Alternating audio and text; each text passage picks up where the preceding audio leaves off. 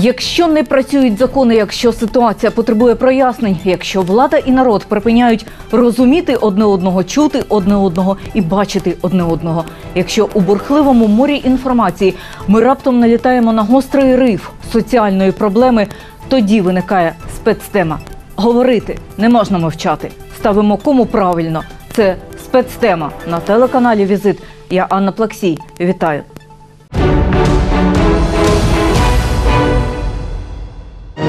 Безумству храбрых поем мы славу.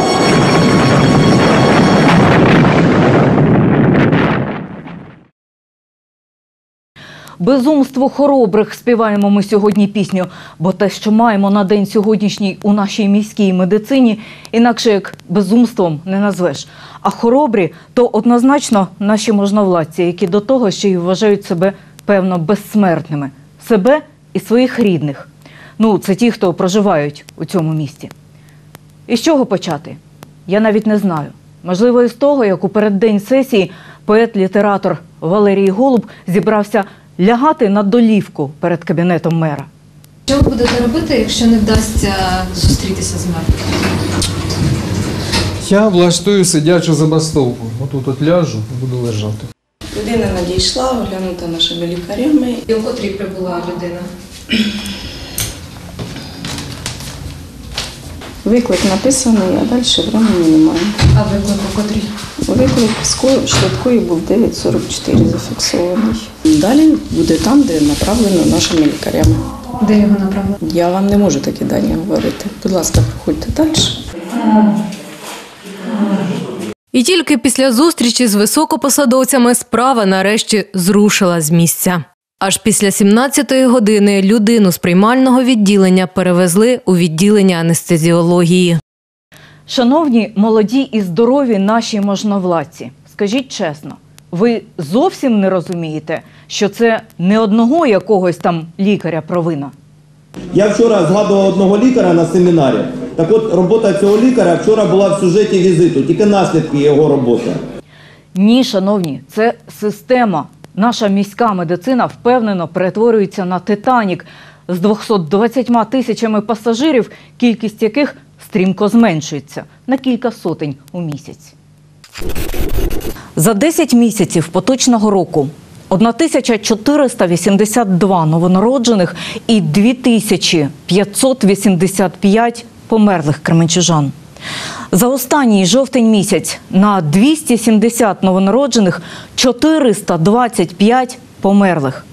Розумієте, з якою швидкістю вимирає наше місто? наша медицина больна. И больна с каждым днем становится все хуже и хуже. Ну, опять же, если вернуться к службе крови, сейчас мы очень много общаемся вот в своих кругах, нас ждет катастрофа. Вот даже вот на моем вот личном, как бы э, профессиональном поприще, сейчас э, будет беда, и еще никто не знает, как это делать. И поэтому, конечно, деньги, ну, наверное, им виднее, как они, наверное, у них есть какие-то запас денег у власти, которые, ну, смогут реализовать. Потому что, если, не дай бог, что-то случится, объяснить потом людям, которые пострадают от нехватки чего-либо, ну, наверное, будет сложно. Шановний пан мер, я тепер точно знаю, ви дивитесь візит. Це тільки що був лікар Зауральський, кандидат медичних наук, фахівець медицини катастроф. І я спеціально показала його вам, бо ви зізналися на сесії, що давно його не бачили. І турнули його з дорадчої медичної ради. Хоча на запитання опозиційних депутаток, а що зміниться, відповіли а нічого. Що зміниться? Я не зрозуміла, що Та ну я не знаю, що зміниться. Нічого не зміниться, крім того, що будуть люди, які займаються медициною в місті, будуть в цій раді, а не будуть люди, просто якихось, е, яких е, туди Ну, колись Сичова, дійсно, дійсно, як сказала Таня, е, Сичова немає. Ну, а Зауральський вроді би є. Ну, Що десь ми його давно не бачили. Отже, чим не догодив лікар-трансфузіолог, кандидат медичних наук, та так, що його навіть не потрудилися сповістити про сесійне витурювання з недопереформатованої госпітальної ради. Можливо, розумний дуже. Когда бюджет семьи небольшой и лишних денег нету, но когда кто-то заболевает, то варианта два. или все-таки собрать последние деньги и купить лекарства, лечить пациента, ну, больного, или, ну, собирать всем миром. Но когда из последних денег, вместо того, чтобы лечить пациента, ему читают газету, ну, наверное, ему от этого легче не будет. Мне позвонили журналисты и сказали, что меня выводят с состава госпитальной рады. А, Я, честно говоря, думал, что это розыгрыш. Почему? Потому что вот это действительно для меня было неожиданно. а, Потому что накануне я был у начальника горздрав отдела Максима Середы. Мы решали вопрос о судьбе а, отделения, которое при э, роддоме, отделение трансфузиологии. На самом деле очень серьезный вопрос, потому что отделение трансфузиологии уже как бы не имеет права на существование. Согласно новых законов, э, оно должно иметь статус госпитальный банк крови. Это городской центр, который должен обслуживать город. И Максим Владимирович сказал, прописывай сразу госпитальный округ. Мы оба с ним входим в госпитальный округ. Давай сразу, э, на что я ответил, не-не, подожди, давай мы решим по поводу города, а потом уже э, будем, ну, округ мы вставим в любой момент. И когда нас буквально через день или на следующий ли день мне звонят журналисты и говорят, а как вы относитесь к тому, что вас выводят с госпитального округа, честно говоря, был поражен, учитывая того, что у нас не было ни одного заседания за год, не было ни одного собрания. Я, честно говоря, уже и забыл о существовании этого госпитального округа. И с чем было связано, что меня оттуда выводят, просто непонятно. Вот просто непонятно. Ну и, конечно, э, потом, когда я пошел на комиссию, и э, вот это перед сессией, и опять же Максим Среда говорит, что мы этот вопрос будем снимать, потому что он не актуален. Ну, просто не актуален, потому что госпитальные округа канула в веку. Ну, то есть, э, ну, не получилось у них их ввести. Э, ну, и вчера, что было вчера, я не следил, я еще ну, не могу комментировать, я не знаю, что там было. Я, я знаю, что вывели, а зачем, куда и почему, я не готов сказать. Меня туда приглашали, команда объясняла, как специалиста, первое, как общественного деятеля, волонтера, второе. Ну, у меня были смутные, смутные подозрения, что в это время я был радником министра охраны здоровья. И, наверное, для них это было престижно. А, Я готов был работать в команде. Мало того, что я активно как бы, принимал участие во всех заседаниях, я вижу в этом перспективу в, в развитии госпитальных округов. Я вижу вот те изменения, которые нужны. Ну и учитывая того, что по сфере своей деятельности, ну, наверное, я ближе всех к медицине катастроф на сегодняшний день, и я понимаю, что может быть и как с этим бороться, то, ну, я считал, что я в госпитальном округе мог бы быть полезен. З самого початку мала таку підґрунтя як дорадчий орган, який напрацьовує якісь е, такі загальні напрямки е, і плани розвитку госпітального округу. Робота, я так думаю, що всім цікаво, чому вона не велась така активна. Вона велась, можливо, не, так я це все висвітлювала і не так е, публічно доповідала про кожне. Е, Ну, вона була е, така в'яла. Я дійсно признаю це, вона була в'ялою. А ви пам'ятаєте, як ми поспішали усе переінакшити і були попереду усіх в Україні? Е, Максим Володимирович заявляв, що е, ми так ну, спішимо, біжимо поперед батька в пекло для того, щоб отримати з державного бюджету 78 мільйонів гривень. Ну і навіть процитую, сказав, що буде як в кіно.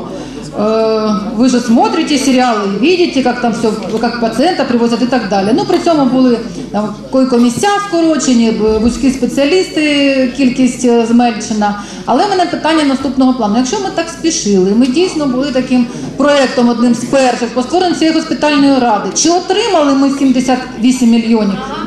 І коли, якщо не отримали, скажіть, будь ласка, коли ми їх отримуємо? На прикладі шанованого пацієнта, що майже 7 годин у свої за 80 років, зневоднений і голодний, лежав на каталці у приймальному відділенні першої міської, ми побачили точно усе як у кіно, як у фільмі жахів. І одну жахливу аналогію я вам таки наведу. Чи замислювалися ви коли-небудь над тим, чому пам'ятник жертвам голодомору разом із тим кладовищем, на якому покояться безневинно вбиті голодом люди, у нас знаходиться буквально поруч із першою міською? А тому, що у ті страшні голодні 30-ті опухлі від голоду, в основному селяни з останніх сил своїх буквально доповзали туди, до земської лікарні, тодішнього богоугодного заведіння. Їх у більшості своїй вже неможливо було врятувати. Чи їх так само кидали на призволяще, щоб скоріше сканали, чи усе ж таки надавали якусь допомогу? Проте ми з вами, певно, вже не дізнаємося ніколи. Але прізвища тих перших лікарів першої лікарні Дімара Константинович дійшли до нас крізь віки, напевне, по заслугах. Давай я тебе скажу, вдруг ты кусочек возьмешь. Потому что вот прямо сейчас, э, когда ехал на, навстречу с тобой, а, стою на светофоре, и рядом останавливается машина, какая-то непонятная, какой-то москвич, такой яркий. И сигналят мне, там, мне машут, я не могу понять. Чуть-чуть сдал, сдал зад, сидят две девочки. И одна мне так машет. Я думаю, что-то случилось, ну, как-то так, открывая окно, она, здравствуйте, я такая-такая, это вы не помните, вы мне ребенка лечили, вторая, и моего ребенка вы спасали. Ну, это подняло настроение. Опять же, в очередной раз, что когда ты в этом городе оставляешь, действительно оставляешь след, и причем так, след, след не за деньги, не плакатиками, не, а настоящий, вот в ком-то, в чем-то, то тогда вот как профессионально, вот я свое эго, я просто погладил.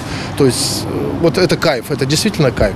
Вот поэтому у меня сейчас действительно хорошее настроение, оно мне просто прекрасно. День начался для меня удачно.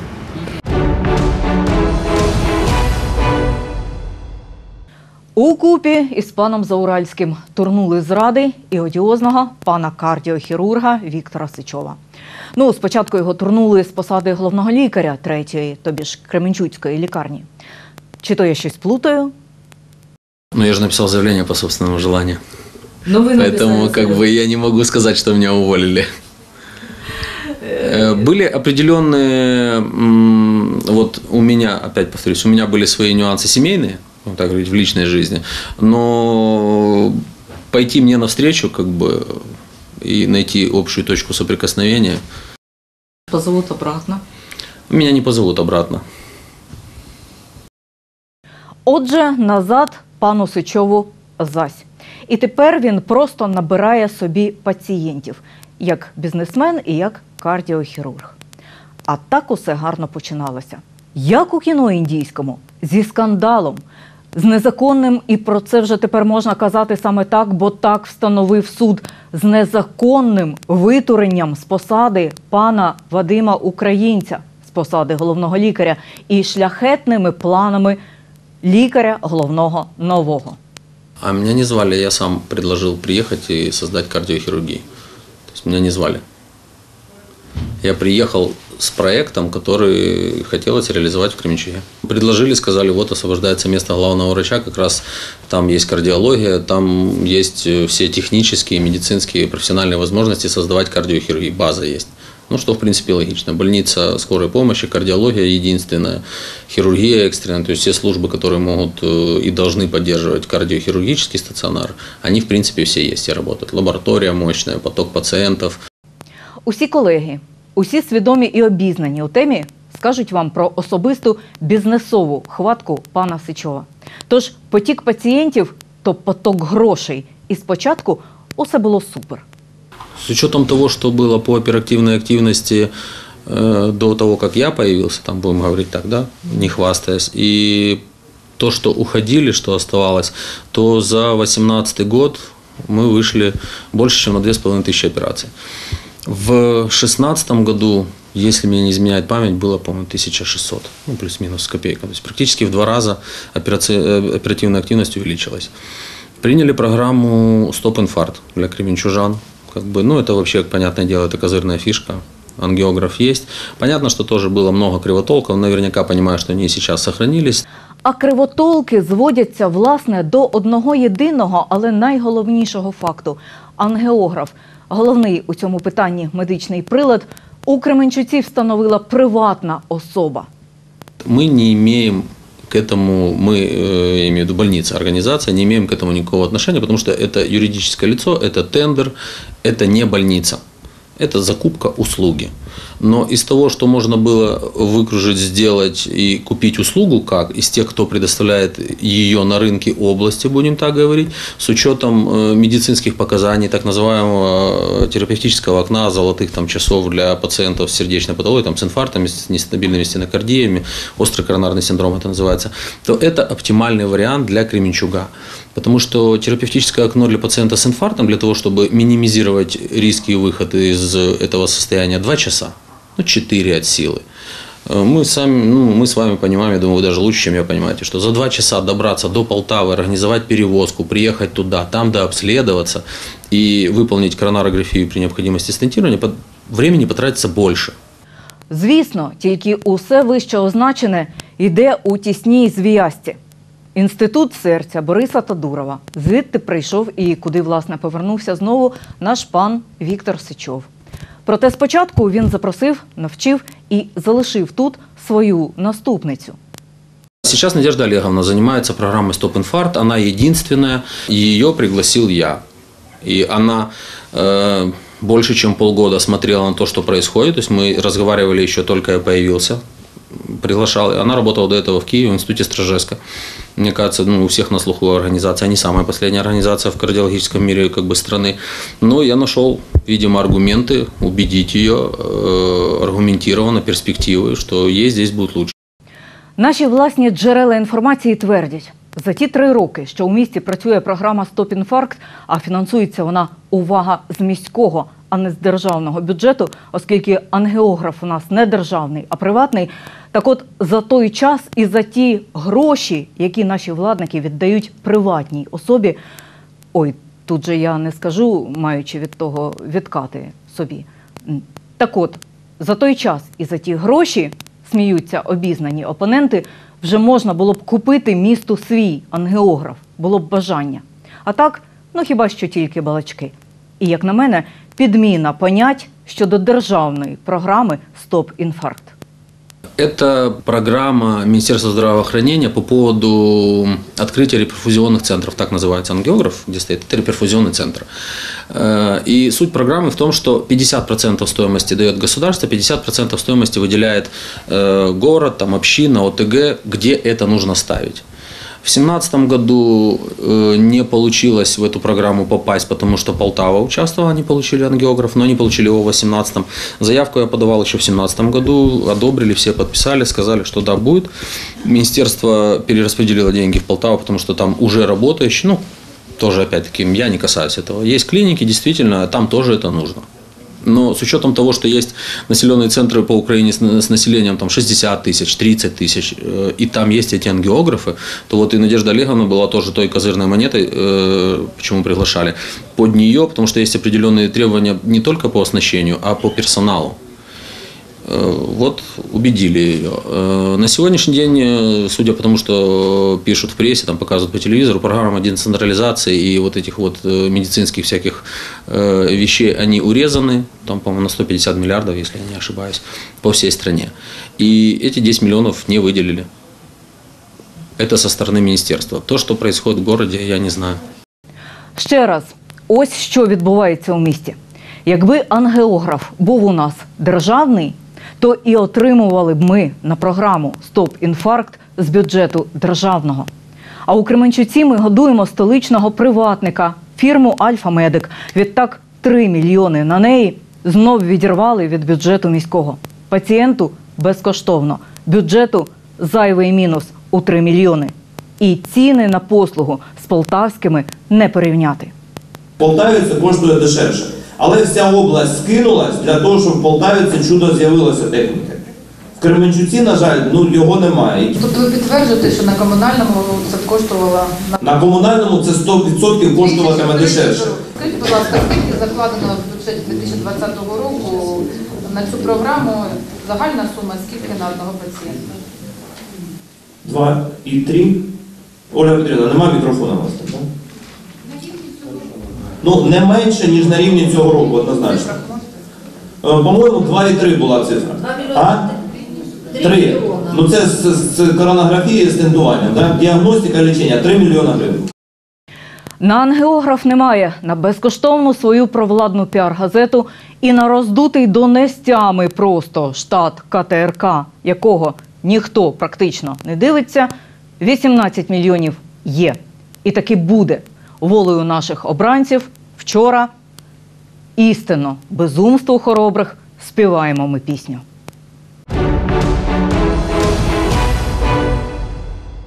Ну і просто не можу оминути проблему з онкодиспансером. Ситуація, схоже, та ж сама. Не буде комунальних приладів діагностики 1 квітня. Посміємося на кутні. У нас отсутствует диагностическая база полностью. У нас нету компьютерная томография, у нас нету МРТ, у нас нету УЗИ аппарата, эксперт-класса аппарата у нас нету. 1 апреля я поеду в НСЗУ, и если у меня не будет э, всего этого оборудования в составе Кременчугского онкодиспансера, со мной не подпишут договор. Я теряю финансирование полностью, я приглашаю коллектив, объясняю коллективу, что мы не финансируемся, коллективы расходятся. Недвижимость переходит в областную раду и решается, что с этим делать. Вчора на сесії сумному і стурбованому головному лікареві Кременчуцького онкодиспансеру потиснули руку і вручили грамоту облради із нагрудним значком.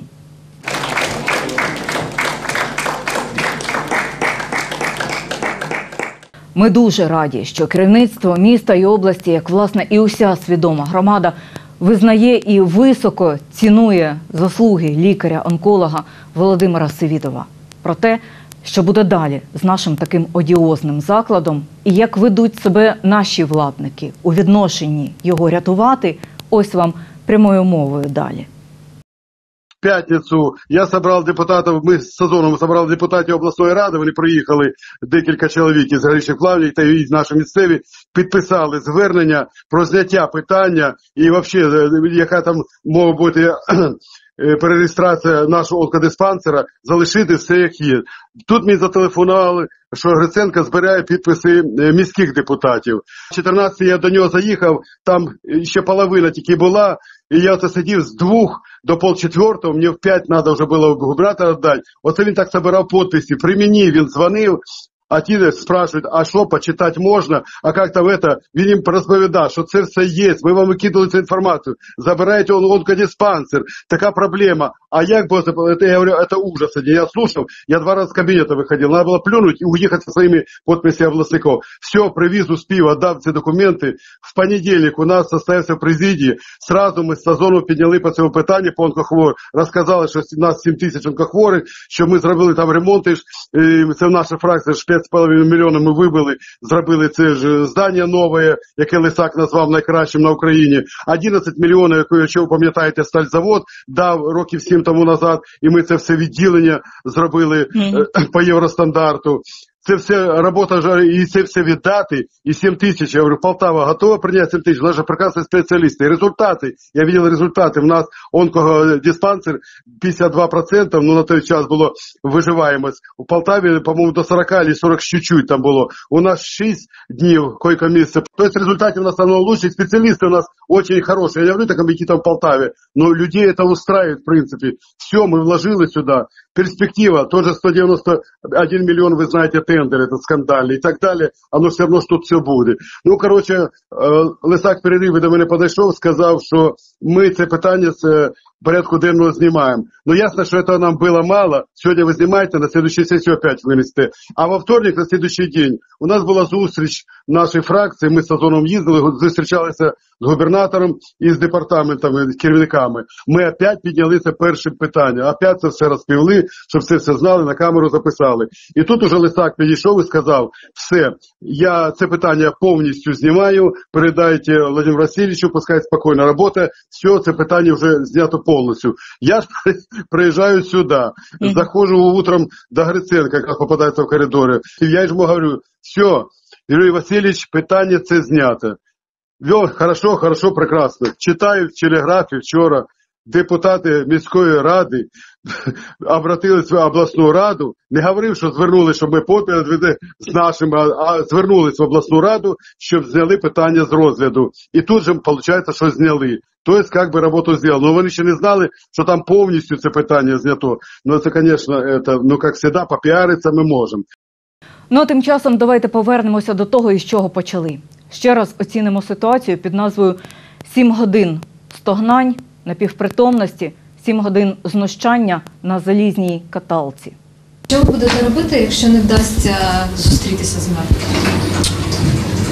Я влаштую сидячу забастовку. Отут от ляжу і буду лежати.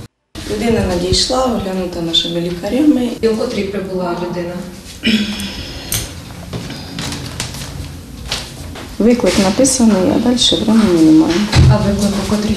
Виклик швидкої був 9.44 зафіксований. Далі буде там, де направлено нашими лікарями. Де його направили? Я вам не можу такі дані говорити. Будь ласка, проходьте далі. І тільки після зустрічі з високопосадовцями справа нарешті зрушила з місця. Аж після 17-ї години людину з приймального відділення перевезли у відділення анестезіології.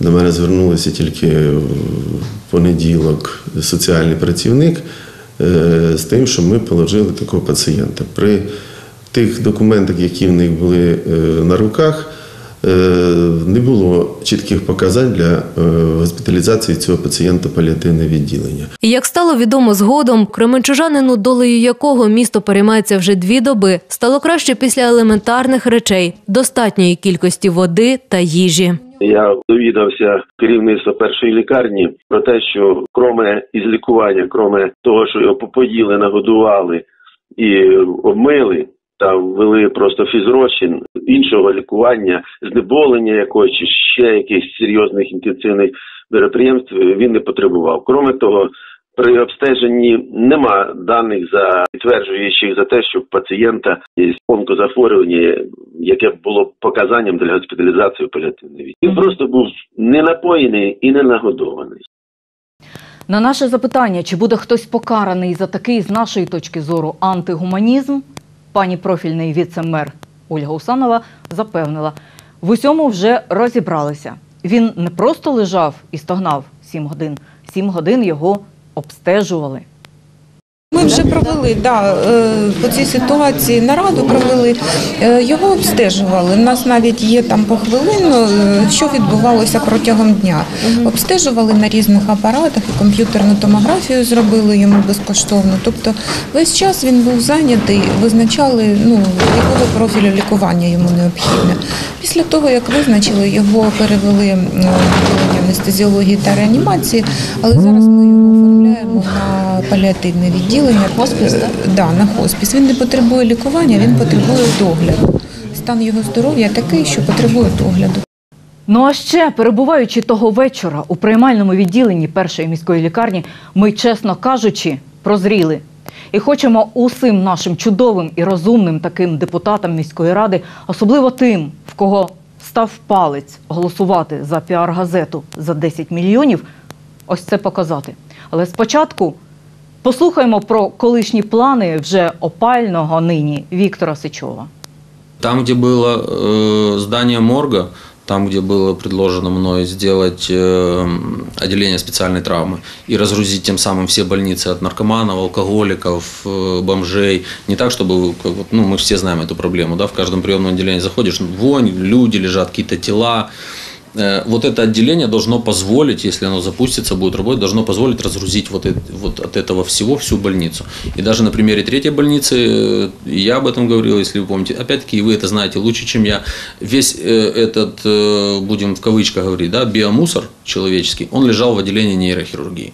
Это то, что зарабатывает персонал, это то, что в виде добровольных внесков выносят люди.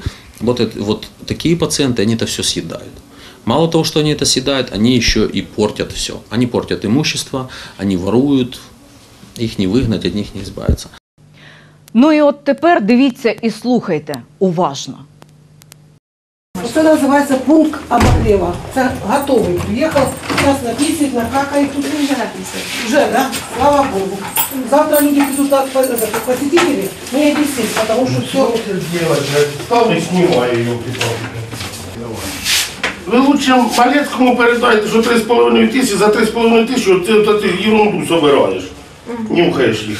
А потім возиш на тих носилах дітей і всіх остальних. Ну давай. Ну, до погріва.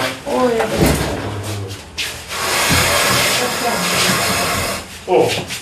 Часто трапляються такі виклики е, без кінця. То ми знаємо, тому що він е, працює грузчиком, у нього ще є епілепсія, ну, звісно ж, він алкоголь приймає, тому він часто, частий гость. Куди везете таких? е, Ну, по месту нахождения, там распределение по больницам. Если там, допустим, центр, то это первая больница. Если, допустим, там район третьей больницы, третья больница. Молодежная тоже третья больница. Зараз цей Сережа, він кожну неділю приїжджає, йому тут понравилось у нас тепленько.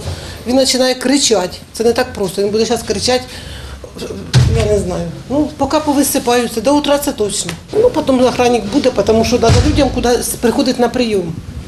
А, а так от до утра будуть віддихати, пісять, какати, уштаніки будуть, потім нам все це убирати. Вот это называется пункт э, согрева. Это же не пункт согрева, понимаете? Это издевательство с нас, во-первых, за 3000 я тут работаю, вот эти гомна убирать. Сейчас рыгать начнут, вони сядь, срать, це постійно. Це зараз похолодало, це постійні гості, постійні. Як багато ми сьогодні дізналися, власне, з однієї програми, правда?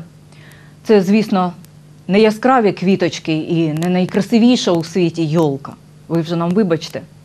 Таке вже воно, наше життя без прикрас, реальне життя. Життя, про яке треба говорити, бо неможливо мовчати. Бо вимремо ж усі. Не буде кому за вас, шановне наше панство, депутати, голосувати. З вами була Анна Плаксій. Зустрінемося на спецтемі рівно за тиждень. Обов'язково.